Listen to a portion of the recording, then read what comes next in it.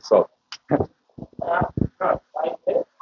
Boa noite, Piscinato. Piscinato, primeiramente queria perguntar uma breve análise da partida e também é, a Vicky veio aqui e falou muito que vocês não gostariam de ter tomado esses dois gols, que ela sentiu que foram algumas falhas. Como é que você avalia isso? Acho que a partida como todo, acho que foi uma partida boa. O primeiro tempo muito bom.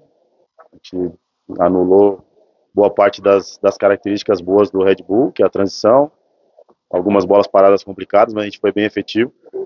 E a gente soube entender o que o jogo estava nos entregando, né? Essa linha alta do Red Bull entregava o fundo, a gente foi muito feliz nisso é, e conseguiu marcar. No segundo tempo, acho que a gente continuou no bom ritmo até o finzinho do jogo. Né, acho que os últimos 20 é, a gente não conseguiu manter o nível de intensidade. Né, o jogo já estava um pouco resolvido, então acho que um relaxamento mental. Todo mundo saiu bem incomodado de ter sofrido dois gols, mas obviamente feliz por, por ter marcado quatro, por ter conseguido ter uma, uma, uma partida ofensivamente muito boa.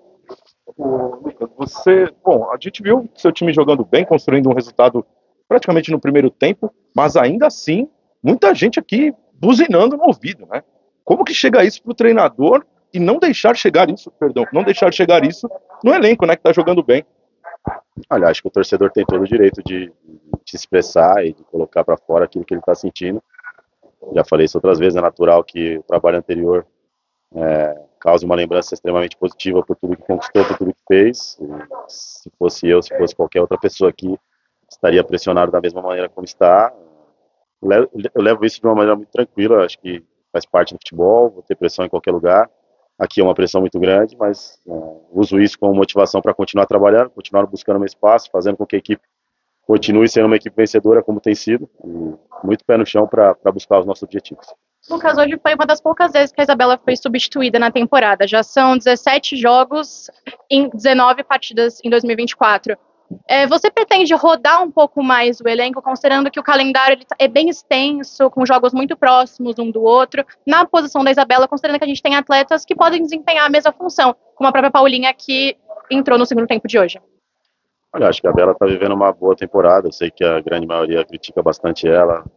Não entendo tanto por quê, porque acho que ela tem um nível de regularidade interessante. Defensivamente, uma jogadora que consegue sustentar bem o jogo, jogo aéreo muito forte. É, ano passado ela acabou ficando muito tempo sem, sem ter espaço na equipe e esse ano ela começou muito bem a pré-temporada. É, oscilou, obviamente, como outras, teve jogos muito bons, jogos que não foi tão bem, mas é um atleta que tem tido a confiança e tem tido um dia a dia muito forte. As outras também, né? A Letícia, a Paula, são jogadoras que, que trabalham muito no dia a dia e, e a decisão de uma ou outra tem sido muito no fio de cabelo, na, na percepção daquilo que a gente encontra no jogo às vezes pensando que uma linha de quatro precisa ter uma linha um pouco mais defensiva, a escolha tem sido nela, mas obviamente, como você mesma falou, a temporada é longa, a gente sabe que a gente vai precisar do grupo todo e todo mundo está muito bem, a Paulinha entrou bem, todo mundo está muito bem para entrar e colaborar. Então, na disputa de posição também, a Nicole fez um, um, jogo incrível com o Palmeiras e hoje novamente fez um, um excelente jogo, apesar dos dois gols, né, dois gols que ela não teve responsabilidade nenhuma, tanto que no segundo ela até salvou a primeira bola. Como foi essa disputa aí no gol, já que a Lele, que é a titular absoluta, ainda está contundida? Eu vejo como uma disputa muito forte, muito grande. Acho que a Kemily, é, ninguém sabe o tamanho da bucha que foi para a Kemily quando a Lele, a Lele machucou e ela, por ser a jogadora mais experiente em si, de, de vivência do Corinthians, de ter que assumir a responsabilidade na Supercopa. É, e acho que ela tem tido uma sequência muito boa. A troca dela no jogo do Palmeiras foi para dar um merecimento para Nicole pelo que ela vinha fazendo no dia a dia de treino e acho que ela mereceu a continuidade, a sequência, e a disputa tem sido muito forte. Acho que essa disputa a gente quer trazer para todos os setores do campo, obviamente, e que quem entre possa fazer grandes partidas, como a Kemily já fez grandes partidas e como a Nicole fez as duas últimas muito boas.